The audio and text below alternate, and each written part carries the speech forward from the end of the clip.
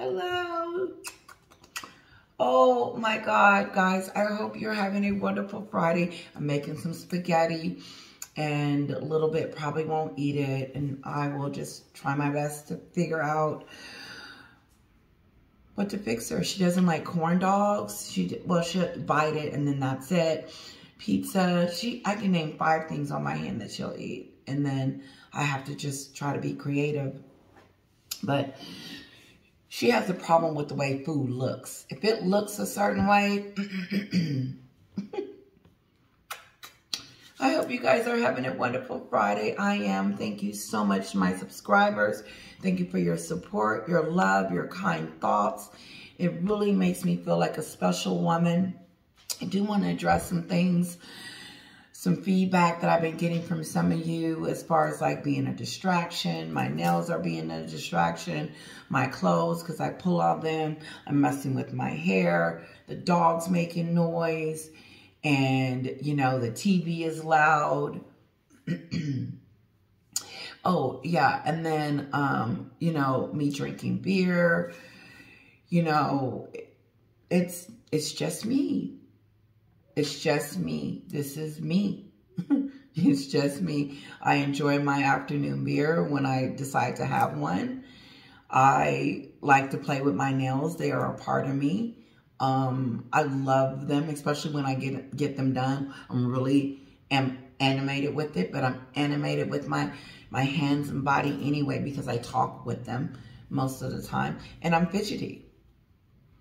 I am not a journalistical person. I am not this um, orthodox or etiquette person doing a channel.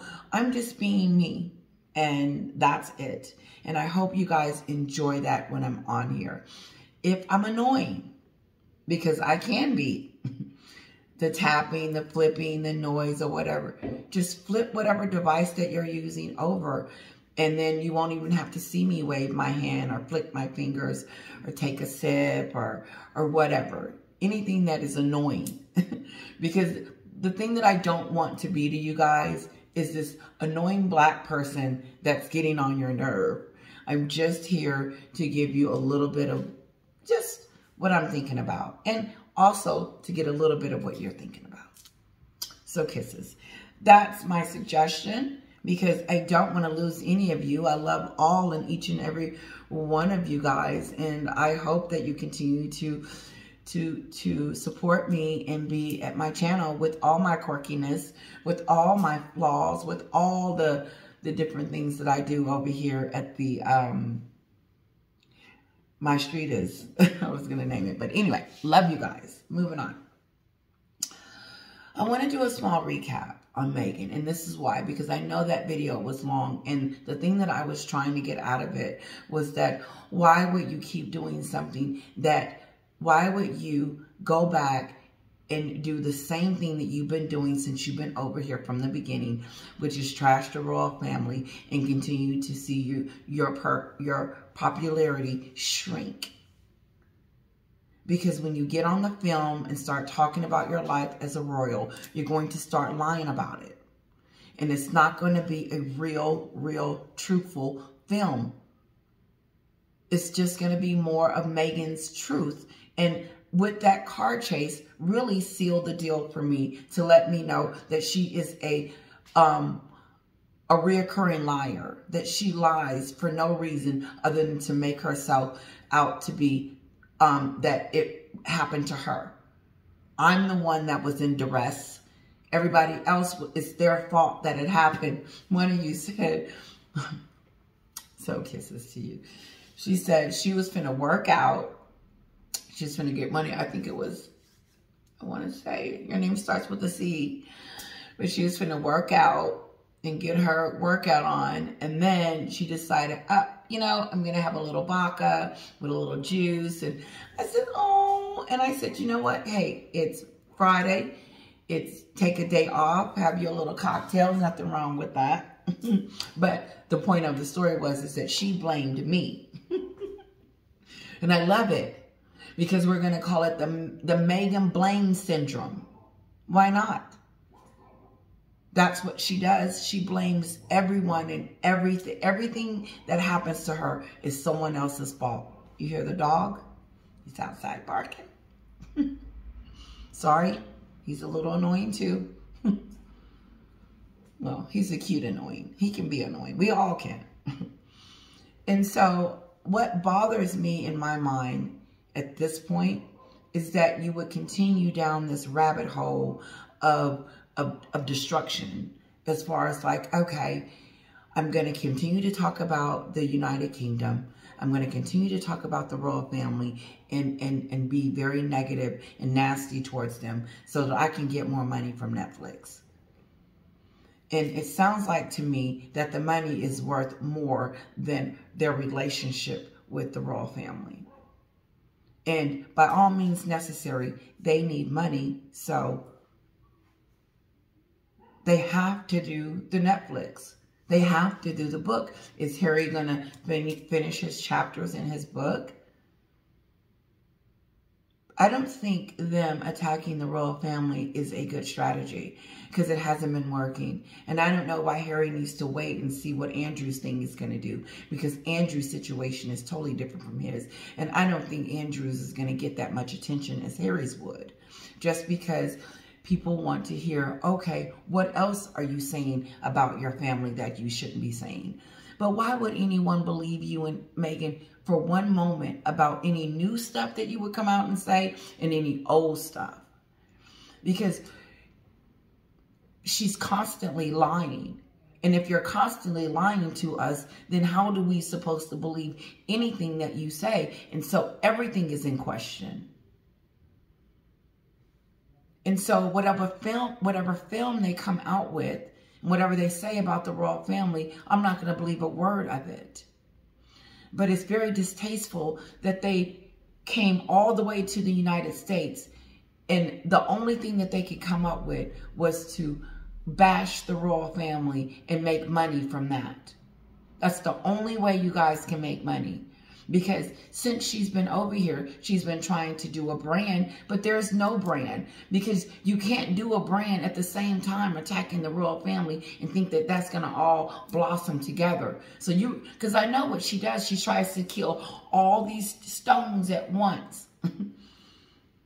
she got rid of her father. She got rid of, she got rid of both fathers at the same time. Harry's father and her father got rid of Harry's family. Her family never had a chance. Then she said there was races, of course, and then the suicidal and all of that to add on top of that. So imagine getting some of that again in this new film. What is she? It, it just, that's just not a way to make money and think that people are going to like you and respect you for making money by being negative to your entire family. Imagine. Imagine Imagine yourself royalty. Imagine. Pick one of the royals you want to be. You got to be a senior royal, though. And so you're royalty, and you look up, and all of a sudden, Meghan's on TV talking about you to Oprah and the whole world. Telling you that you're racist and that you almost killed her. This happened to the royal family. It actually happened. And so imagine that being you. And so putting yourself in that and, and, and just say Catherine or Williams or Charles's shoes on the Oprah show, Spotify, Spare, and all of that. And it continues and it continues and it continues. And at some point, are you going to say something? I believe William has at some point will need to say, do a cease and desist letter because their, their brand is built on trashing the royal family. That's it. That's all they've been over here doing in the United States and wreaking havoc. And now they're going to get ready to do it again. They're setting it up because obviously they need money. Why else would you continue to talk about something that you wasn't even a part of for two days? She was only a role for two days, and now she's doing a movie about it, a whole film. We heard it on the Oprah docu-series, Spotify. Now she's going to do a whole film because there's more. And then, oh, about the coordination and all that stuff too. How she's going to continue. No, they should name it How We Will Continue to Trash Our Families and Make Money Off of It. That's the title. How our brand has become just trying to destroy our family to make money to live in Montecito. And why, Harry, do you have to make money off the expense of your family members to make one woman happy? So, what because all Harry has been doing is trying to make Meghan happy. He moved over here. He is assisting with her brand. He helps lie with her. He was on the Oprah show with her. He did the spare book. He did the therapy. He did all of that for Meghan and she's still not happy because he's over there at a hotel room on his anniversary after she's after he's done everything for him. She, he's done everything for her. But he will be mistreated the most. And people will be like, that's what he get.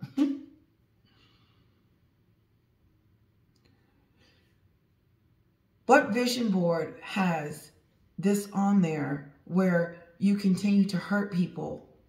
You continue to attack those that are vulnerable, that can't fight back, but are fighting back with showing you how they are serving their country and being Catherine is showing her Kate is showing her that she's the princess, that she's got it going on, that she doesn't have to say anything to let Meghan know that she, that she's not it. But at some point, when does it stop? Or does it continue? So are we saying it's okay for Harry and Meghan to continue to attack the royal family while they don't do anything? Does it ever stop? Does it stop? Does the trashing stop? Someone asked one of you, I think it was River and Sam. Sam, you guys are so awesome. Was to all of you. Thank you. Marina, all of my wonderful, wonderful subscribers. When did when when did it do it for you when you found out that Meghan was just not a very nice person? And it was the same time as mine. It was around when she was in Africa talking about no one asked her if she was okay.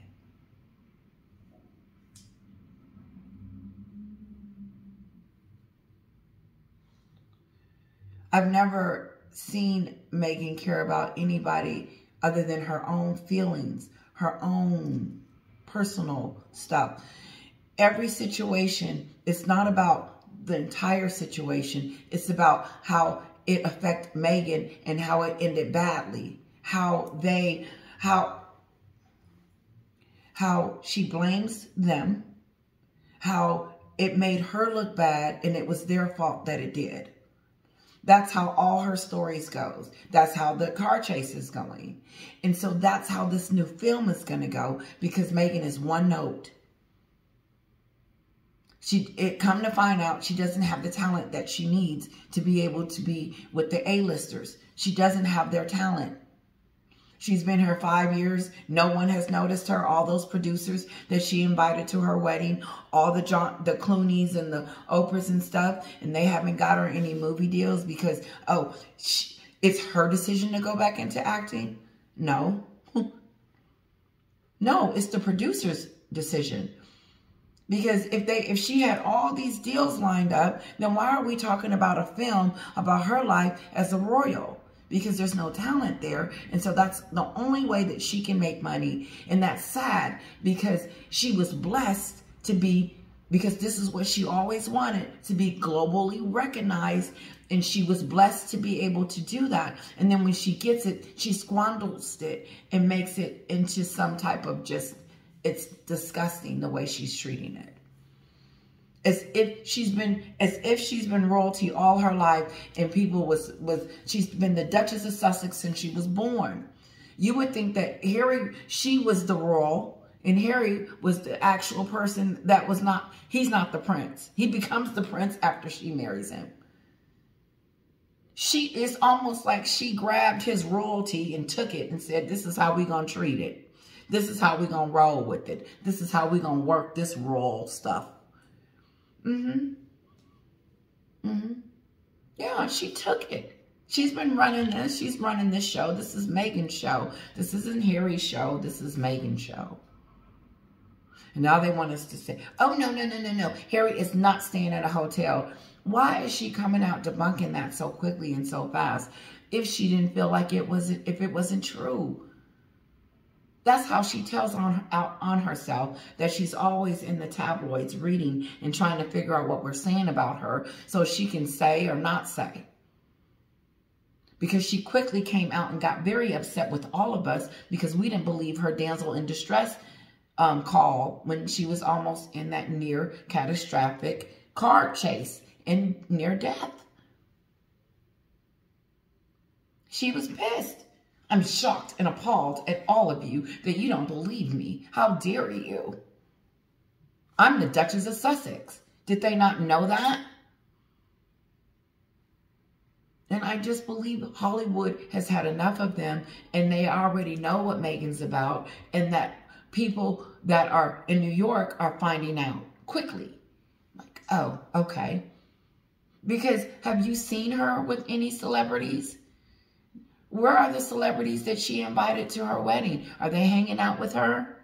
Oprah is, Oprah, where are you? You didn't invite your girl to the to your little shindig thing. Is it over? Is you trying to tell us that you're blacklisting her? Listen, I'm out. This is a short video. Th this film bothers me. And, and it doesn't matter. Who cares about what I feel? I'm so. But what I'm saying, when it bothers me, I'm talking about it a lot because that seems to be their MO. That seems to be their their money-making train machine.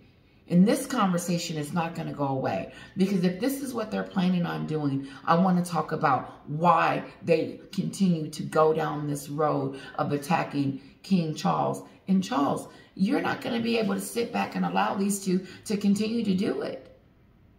It cannot continue to be done. You, you can, but it's not good because eventually you're going to have to shut them up.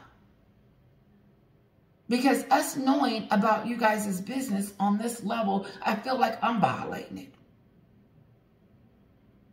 I don't want to know that Harry was fighting with his brother for over, over Meghan. I can sit here and we can go over incident after incident. Now, we can write a real story about Meghan and stop playing around the real deal story, the one that we see, the lies, the real deal, what really happened. When are they going to come out with that story? Because the fairy tale is over. With her and the little coach and her and Harry riding past and waving. And Harry looked good that day. With his little hair, his little hat and his little uniform and stuff. Harry looked real good. That was the last time he did. Because she was been jerking on him and pushing him and moving him and telling what, him what, what he's going to do for her. Harry didn't want to leave his home. He wasn't trying to get to California. No. She put him in a state of frame of mind that he didn't have a choice because she needed to get away from over there because the paparazzi was, was chasing her. And he needed to save her. And he doesn't want every anything to happen to her like what happened to his mom. And so she's got his brain his brain conditioned to think that he has to save her from everyone. The courts, paparazzi, the guy on the street, um, his family, everyone. I'm going to say it again. She's got him thinking and believing that he has to protect her from everybody, even us. We're a threat. anyone that don't believe what Meghan is saying, we are the enemy because we are supposed to believe everything that she says. And then when we don't, then that's when Harry comes in and adds his two cent and says, yeah, she is a great person. She is wonderful. She could have changed the world. And Meghan was the one that was being attacked by my family. They did, um, they did treat her with little respect. This, I'm paraphrasing, but he said it in his book that they, they, um, committed racism against her. He went against everything that he believed in and helped lie for this money. Because it was all for the money. And then when he walked into the Abbey at the coronation, he just looked like he was guilty from doing it. Yeah, that I would have been in the Abbey like, yeah, that's the son. That's the son. His name, that's Harry. Mm -hmm. Just say they didn't know him. That's Harry. That's the one that's got that wife that did all that stuff that said the, and they got all that money. Tell the real story, Netflix. And why do they trust Netflix? I don't trust anybody that Meghan works with because she is um, dangerous. She's scary. And I, she, it, Meghan is scary to me. She is cutthroat. Because anytime you're going to force down our throat that you were in a two-hour car chase in Manhattan, it's just not going to do it.